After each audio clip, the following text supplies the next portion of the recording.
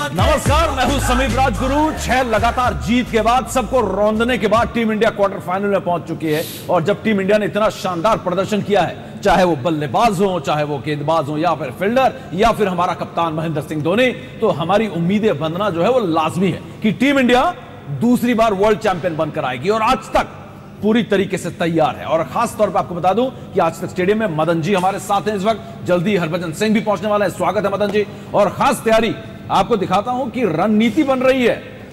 Team India के पूर्व कप्तान और हमारे कप्तान ड्रेसिंग रूम में बैठे हुए हैं और रणनीति बना रहे हैं श्वेता के साथ। और इसके अलावा सईद अंसारी पूरे डेटा के साथ हमारे बीच होंगे।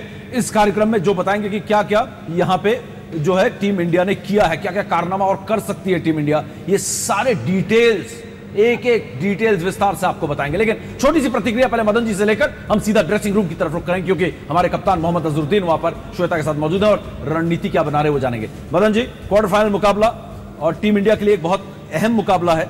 एक छोटी सी प्रतिक्रिया चाहेंगे उसके बाद एक्शन की तरफ़ रुक करेंगे। देखिए आप सारे जो मुकाबले हैं अहम मुकाबले हैं क्योंकि क्वार्टर फाइनल से आप सेमीफाइनल जाते हैं हाँ। पर हमें कंसंट्रेट करना है क्वार्टर फाइनल के ऊपर ताकि हम उसको जीतकर हम सेमीफाइनल में जाएँ। फाइनल बाद में देखा जाएगा क्योंकि ये बड़ा ज़रूरी मैच है। बिल्कुल बिल्कुल ये ज़रूरी मैच है और मदन जी से इस बारे में बात करेंगे। तीन अलग अलग स्टेशन आज तक तैयार है। ड्रेसिंग रूम तैयार है रणनीति लेकर। लेकिन इससे पहले आपको दिखाते हैं कि टीम इंडिया की इस क्वार्टर फाइनल मुकाबले के लिए इस बदले के मुकाबले के लिए क्या तैयारियाँ हैं।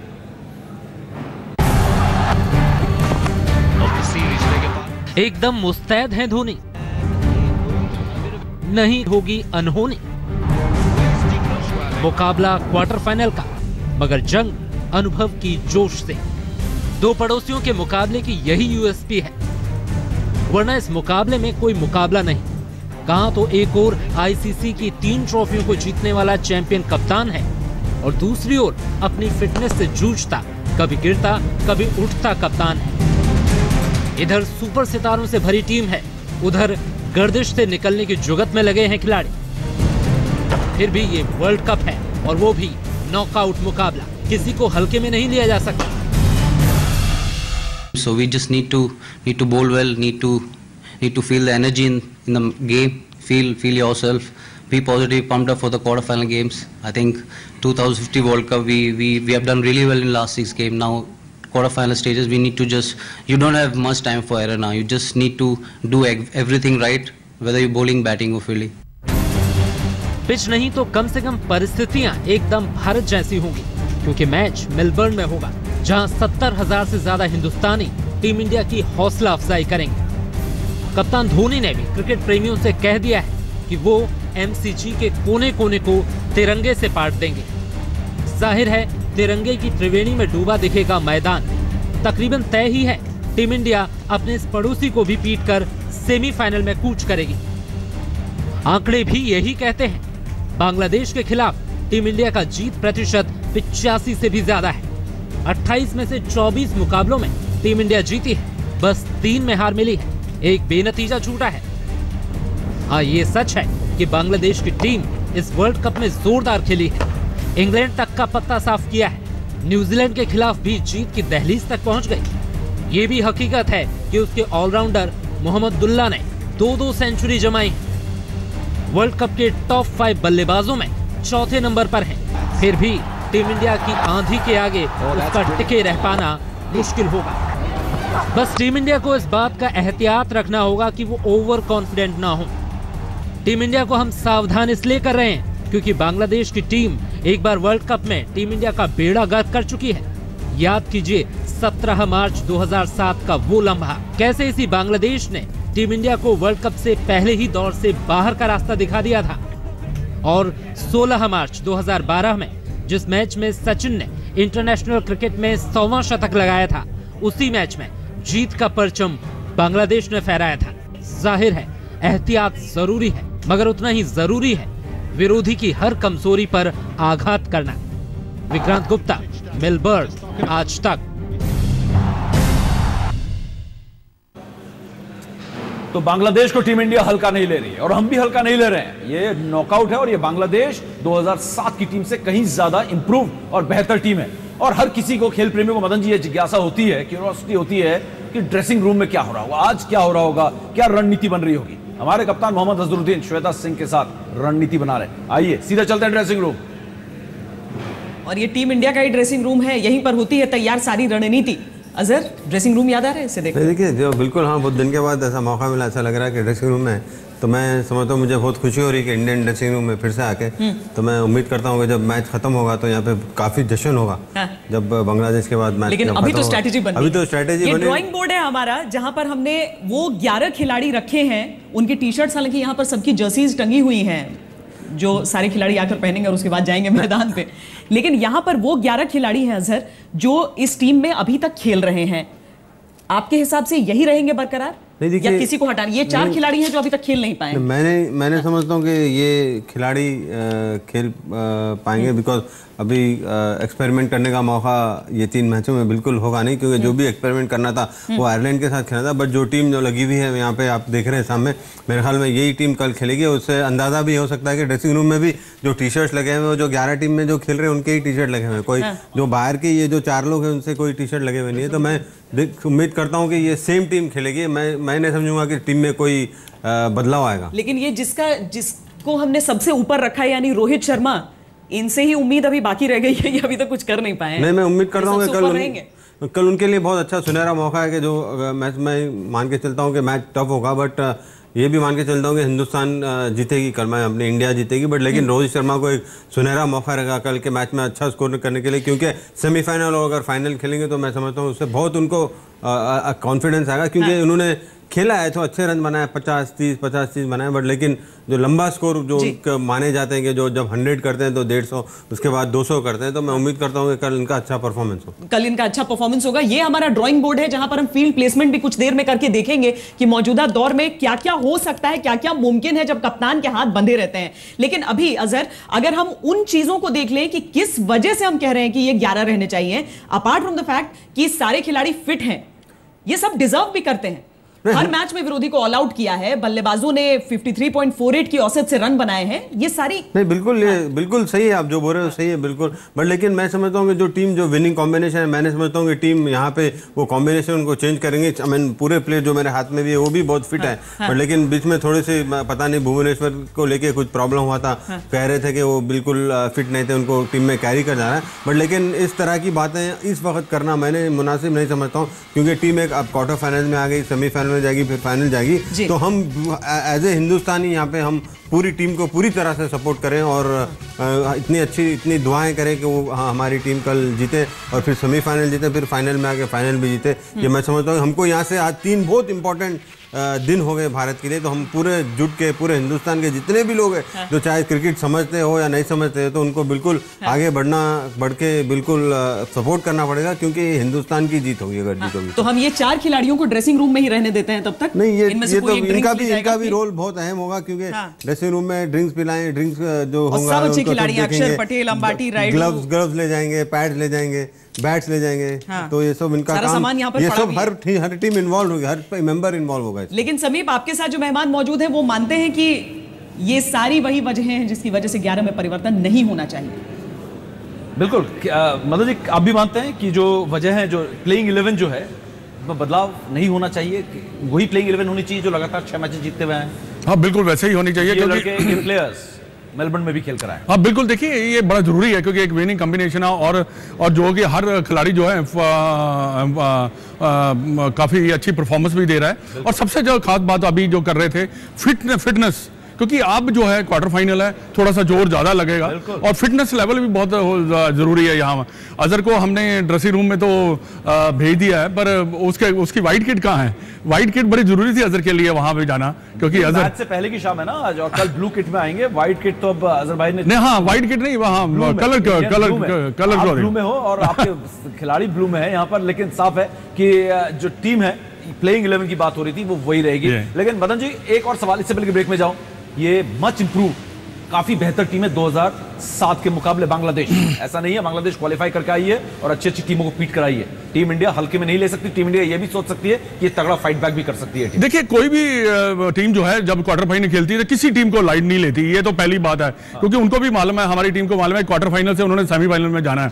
और 2007 की जब बात करते हैं हमें उसकी बात नहीं करनी चाहिए। क्योंकि 2011 में हमने मैच वर्ल्ड कप जीता है। ठीक है और मैच आपको स्पोर्ट्स में ऐसा होता है और मैच आप हारते भी हैं पर अभी जो है हमारी टीम मेरे अगर एनालाइज किया जाए पूरी हर एक एक प्लेयर को भी देखा जाए तो हमारी टीम मच बेटर है। अच्छा बहुत ज़्यादा अच्छा भी खेल रही है। पर एक ही जहाँ पे थोड़ा सा ये लगा रहता है क्योंकि ये गेम है इसमें कभी भी पासा किसी का पलट सकता है पर उसी उसी उसी चीज़ को हमने देखना है। हमारी टीम ने उसी चीज़ का ध्यान देना है कि जो मैच है उसको कैसे मैनेज किया जाए। अगर एक दो आउट भी होते हैं फिर भी हम मैच कैसे निकाल सकते हैं। ये बड़ी चीज़ें क्रुशल होती हैं टीम में मैच के लिए। बिल्कुल। कई कई अहम बात है और बांग्लादेश को हल्का नहीं लेना। बांग्लादेश जैसा कि मदन जी ने कहा कि क्वार्टर फाइनल पहुँची है तो भारत को भी मालूम है मौजूदा वर्ल्ड चैंपियन है कि बांग्लादेश को हराने के लिए क्या करना होगा। टीम इंडिया का एक्स फैक्टर की खिलाड़ी कौन से होंगे? ड्रेसिंग रूम से।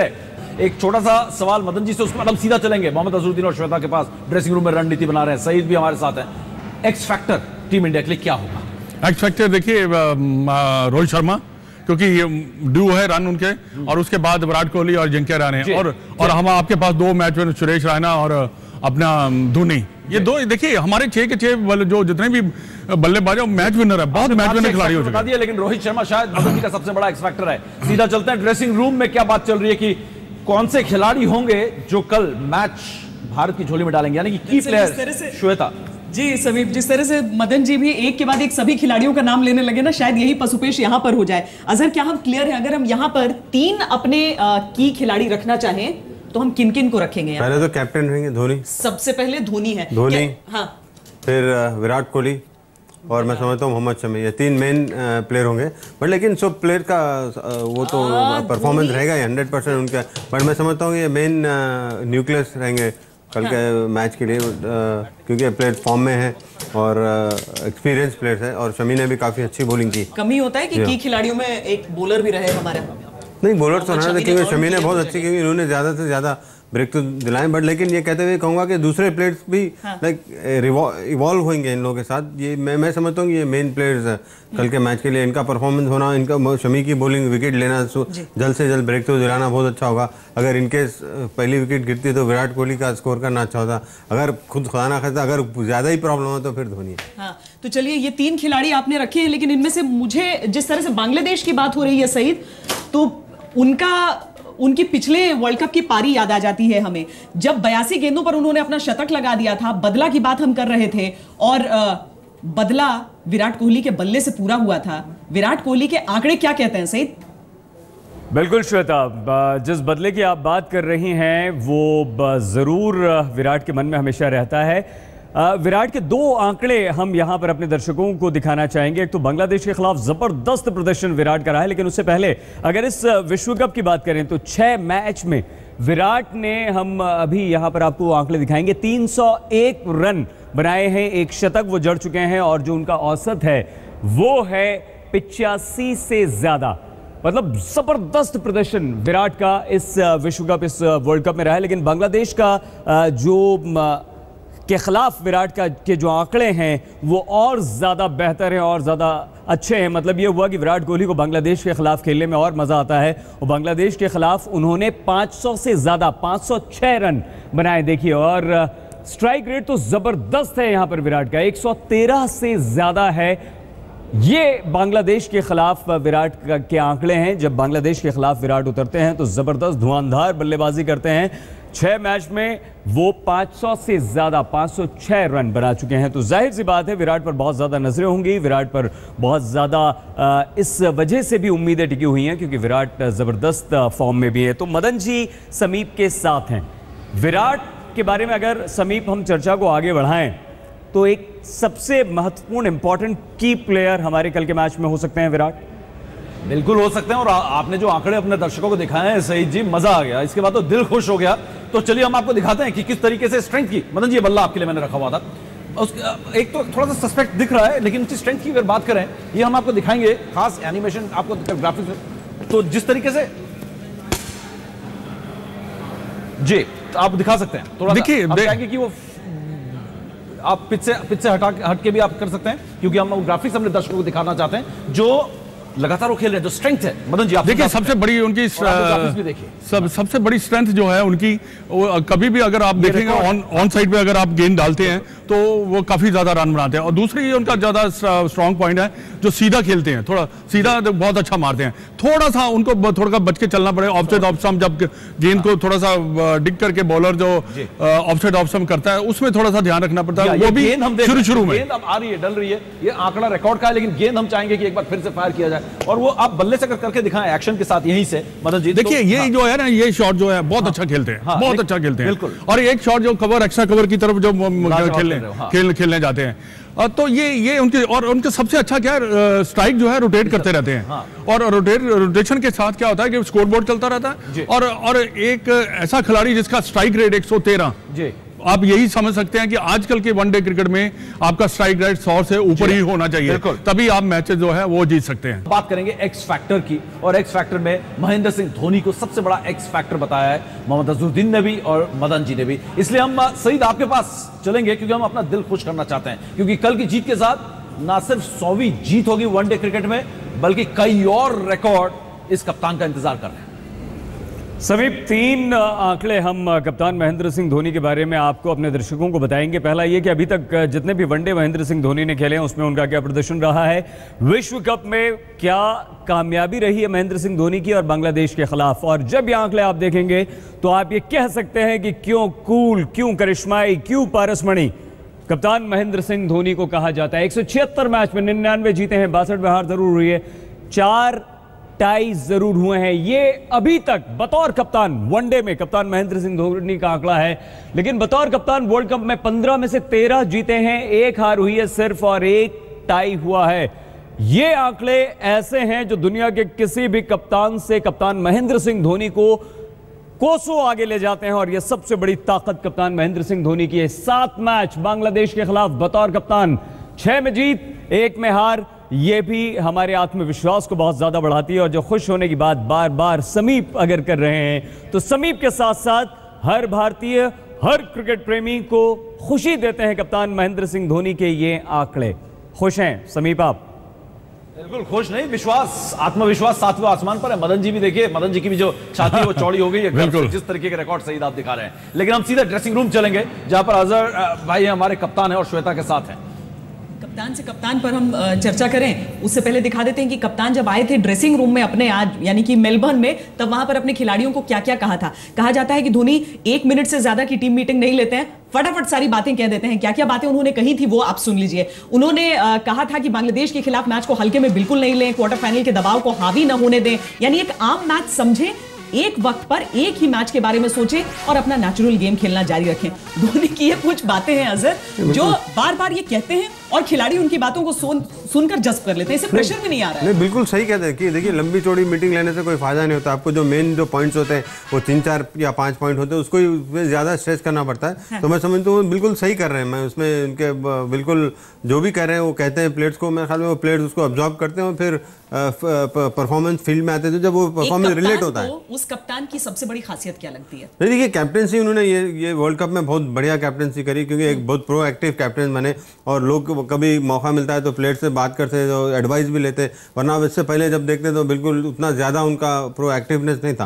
बट लेकिन वर्ल्ड कप में बहुत प्रोएक्टिव है ज़्यादा चुप रहते बट लेकिन आज उन्होंने सब प्लेयर्स की भी सुनते हैं और बिल्कुल प्लेयर अगर ऐसा कभी मौका होता है तो बॉलर्स से भी जाके बात करते हैं या कोई जूनियर प्लेयर भी होता है उससे भी एडवाइस लेते हैं। तो मैं समझता हूँ ये कैप्टन की सब में अच्छी खासियत होती है। हम्म, सचिन तेंदुलकर ने क्या कहा था वो सुना देते हैं। उसके बाद हम बताएँगे कि धोनी की कप्तानी में इस बार क्या खास है हम अपने ड्राइंग बोर्ड पर आपको ले चलेंगे। पहले सचिन की बात सुन लेते हैं।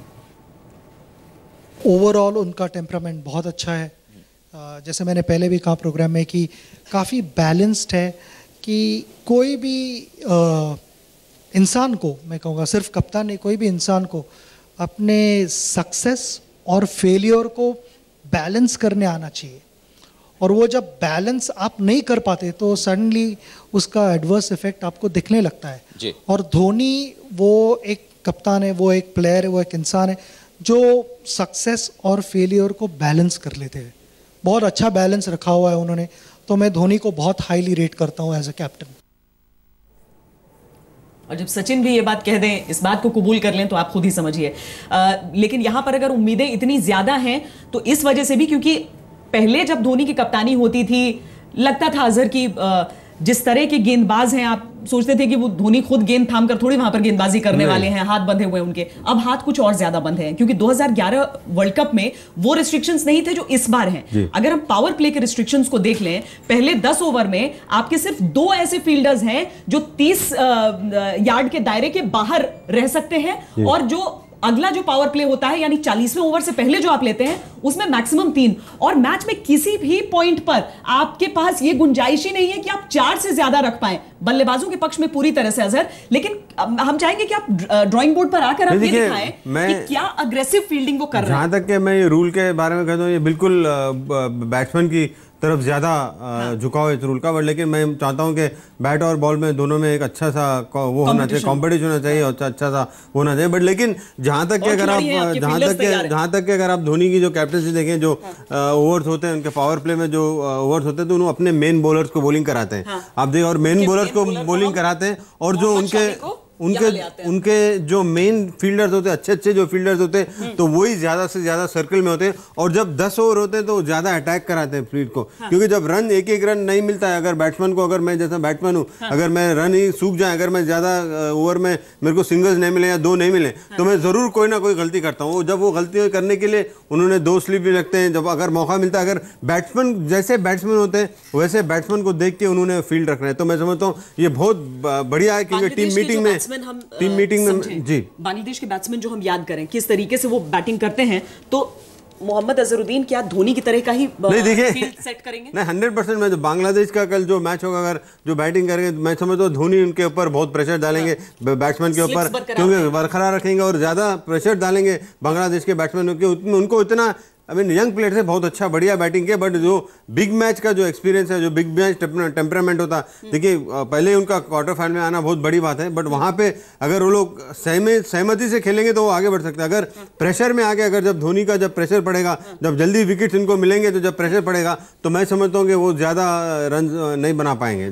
अभी तो पचास ओवर नहीं खेल पा रही है विरोधी टीम लेकिन यहाँ पर अगर आपके पास ये गुंजाइश रह जाती है कि आपके दो जो फील्डर हैं सिर्फ़ वही बाहर हैं मान लीजिए हमने किसी को भी लगा दिया, लेकिन उसके बाद आप अंदर के फ़ील्ड को कैसे कसते हैं? नहीं अंदर की फ़ील्ड तो बिल्कुल जो अंदर के जो प्लेयर्स होते हैं, बिल्कुल देखिए, मैं चिपका के नहीं बताऊँ बट यहाँ पे नज़दीक नज़दीक जितना प्लेयर्स बैट्समैन के नज़दीक रहेंगे रन रुकाने की कोशिश करें सिंगल के।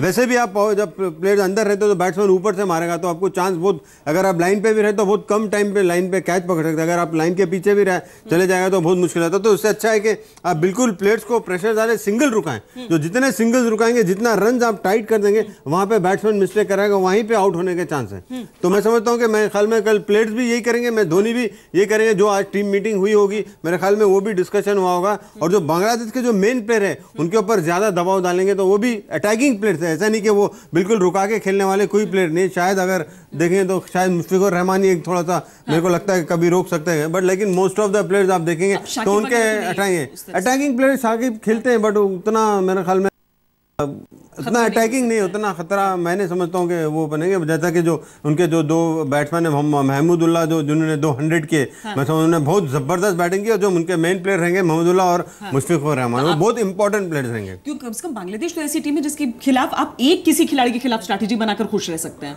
नहीं, ऐसा नहीं है। दो तीन प्लेयर्स को तो बिल्कुल स्ट्रैटेजी बनाना ही। पड़ेगा। उनकी ताकतवर टीम है। ऐसा नहीं है कि उनकी टीम कोई खराब है। जैसा कि मैंने इससे पहले भी कहा था कि मैं समझता हूँ बांग्लादेश जितने साल से क्रिकेट खेल रही तो मैं समझता हूँ उनकी ये सब में बेहतरीन टीम है और काफ़ी यंगस्टर्स है और बहुत बढ़िया टीम है। इंडिया ने भी एक मैच खेला था जहाँ साउथ अफ्रीका को हराया। इसने बांग्लादेश ने एक मैच खेला जिसमें बहुत बुरी तरीके से उन्हें हार का सामना करना पड़ा नहीं ठीक है देखिए हार जीत तो होती लगी भी रहती है उसमें आप बता नहीं सकते। कभी किसी का अच्छा दिन होता था कभी खराब दिन होता था। बट लेकिन कल का मैच देखिए भारत को बिल्कुल अ, हल्के से नहीं लेना चाहिए। और अगर मेरे ख्याल में जैसे भारत अपनी जो रणनीति है जैसा मैचेस खेलते आ रहे हैं प्रीलिमिनरी मैचेस उसमें अगर वैसा खेलेंगे तो मैंने समझता हूँ कि उनको हराना इतना आसान होगा भारत की टीम ज़्यादा आसमान से है या सामने वाली टीम से? नहीं दो, दोनों भी ऊपर वाले तो बिल्कुल उनसे तो बिल्कुल डरना तो ज़रूरी है हाँ। अगर वहाँ से डायरेक्शन नहीं रहेगा तो नीचे कुछ भी नहीं हो सकता हाँ। तो मैं समझता हूँ कि यहाँ पे भी लोग भी बहुत इंडिया में दुआ कर रहे हैं और आप जैसा देखा है टीवी चैनल्स में काफ़ी काफ़ी अलग अलग तरीके के लोग अपनी अपनी दुआएँ कर रहे हैं कि इंडिया जीते तो हाँ। मैं समझता हूँ कि पूरा इनको सपोर्ट है दुआ आई मीन हिंदुस्तान के बिलियन लोग दुआएँ कर रहे हैं अगर अल्लाह को अगर एक दुआ अगर मंजूर हो गई अगर कबूल हो गई तो हाँ। मेरे ख्याल में हिंदुस्तान आगे पार है समीप जिस तरह से हमने यहाँ पर फ़ील्ड प्लेसमेंट की बात की है अजहर पूरी तरह से मुहर लगा रहे हैं। धोनी की जो अग्रेसिव जो अप्रोच हो गया है कैप्टन कूल कैप्टन अग्रेसिव बन चुके हैं समीर बिल्कुल बिल्कुल। कैप्टन कूल से कैप्टन एग्रेसिव बन चुके हैं और जहाँ तक बात है मदन जी आ, हमने देखा हमारे कप्तान ने किस तरीके से फ़ील्ड को टाइट करने की बात की किस तरीके से अपने कप्तानी की बात की। लेकिन इस एग्रेशन के पीछे महेंद्र सिंह धोनी ने श्वेता एक बहुत अहम बात की थी।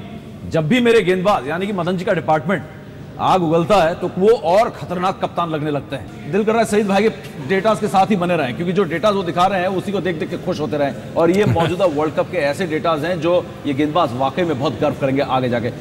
सईद भाई, आपके पास आ रहे हैं दोबारा? क्योंकि हम चाहते हैं कि किसी के जहन में कोई शक हो तो ये आप एक बार फिर डेटास दिखाएँ और बताएँ कि हमारे गेंदबाजों ने क्या कमाल कर रखा है। समीप मदन जी, अजहर। दोनों हमारे साथ हैं और अगर हम गलत नहीं है तो बताएँगे कि ये जितना बेहतरीन प्रदर्शन हमारे गेंदबाजों ने इस वक्त किया है, शायद इससे बेहतर अगर उन्होंने पहले वर्ल्ड कप में किया हो। सारे के सारे जो हमारे यहाँ पर गेंदबाज हैं, उन्होंने विकेट्स लिए हैं। और ये देखिए, हर मैच में विरोधी को ऑल आउट किया है भारतीय गेंदबाजों की जो औसत इकोनॉमी है, वो चार दशमलव सात दो है और उन्नीस मेडन ओवर डाले हैं, जो अपने आप में बहुत बड़ी बात है। लेकिन अगर हम सारे गेंदबाजों के आंकड़े आपको बताएँ तो आपको और ज़्यादा खुशी होगी क्योंकि हर गेंदबाज ने बेहतरीन प्रदर्शन किया है मोहम्मद शमी। पाँच मैच खेले एक मैच उनका मिस हो गया था और उसमें उन्होंने पंद्रह विकेट हासिल किए हैं। इसी तरह मोहित के 10 है, उमेश 10 अश्विन 12 और जडेजा सात। ये जो आंकड़े हैं ये एक बहुत ही शानदार कॉम्बिनेशन है भारतीय बल्लेबाजी और गेंदबाजी का, यानी कि बल्लेबाजी ज़बरदस्त है और गेंदबाजी बेहतरीन है। और जब गेंदबाजी, बल्लेबाजी दोनों बढ़िया होती है तो ज़ाहिर सी बात है, ये इसका जो परिणाम होता है, वो होता है टीम इंडिया की जीत। श्वेता आपको बताएँगी अजहर के साथ कि ये जो कॉम्बिनेशन है हमारा बल्लेबाजों का बेहतरीन प्रदर्शन और धारदार गेंदबाजी ये कितनी मददगार सिद्ध होगी हमें विश्व विजेता बनाने के लिए। श्वेता। देखिए ना इत्तेफाक देखिए गेंदबाजी की बात हमने की है गेंदबाजी में ट्रंप कार्ड की बात कर रही है। वो गेंदबाज जिसने एक सपने की शुरुआत की थी जोगिंदर शर्मा हमारे साथ आ रहे हैं। देखिए जोगिंदर आइए आइए आइए आइए। बहुत बहुत स्वागत है आपका। बहुत स्वागत है आपका।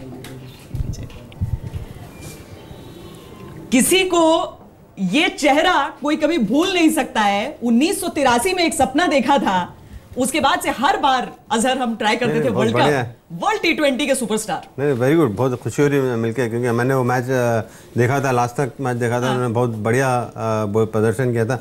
मैं जहाँ तक के सोचता हूँ मेरे ख्याल में ये ये खुद भी कहे होंगे धोनी को "बे भाई धोनी भाई मेरे को दिया मैं बॉलिंग करता ऐसे हूँ। बोले थे क्या? शायद मुझे ऐसा लगता है मुझे तो जब बिल्कुल, क्योंकि देखिए एक क्रिकेटर जब देखता है तो पता है बॉडी लैंग्वेज से मालूम हो जाता है। सच ही जान लेते हैं। वो एक एक्साइटमेंट होता है और वो टाइम पे जब मैं देख रहा था मैं सोच रहा था कि किसी तरह धोनी मेरी तरफ़ देखे। धोनी ने जैसे ही हाथ उठाया मैं दौड़ के गया उसके बाद। उसने पूछा डालेगा मैं हाँ मैं डालूँगा वो डालूँगा. डालना भी चाहिए। क्यों नहीं डालना चाहिए? क्योंकि बड़ा बहुत बड़ा मूवमेंट था क्योंकि डालना? अगर जीतेंगे तो देखिए हार जीत तो हर एक को होती है। जैसा कि हमने जब मैच हीरो कप मैच खेला था मैं हमारे मेरे पास और दूसरे बॉलर भी थे बट मैंने सचिन को दिया था मैच बॉलिंग दिया था। बट लेकिन यहाँ पे ये तो मेन बॉलर थे वो तो सचिन तो है है। सचिन तो मेन बॉलर नहीं थे ये तो मेन बॉलर थे तो क्यों डालना भी चाहिए? और उन्हें बहुत बढ़िया प्रदर्शन किया। मैं बहुत बहुत मुबारकबाद देता हूँ। अच्छा ड्रेसिंग रूम के इस माहौल में है हम जोगिंदर ड्रेसिंग रूम में तो कहते हैं धोनी बहुत लंबी मीटिंग नहीं लेते हैं। आप तो उनकी पहली कप्तानी के गवाह हैं। जब 2007 में देखा था। ज़्यादा बात करते हैं नहीं करते हैं? नहीं कुछ ज़्यादा बात नहीं करते। जो मेन पॉइंट रहता है उसी पे हम लोग फोकस करते हैं। क्योंकि पूरी तैयारी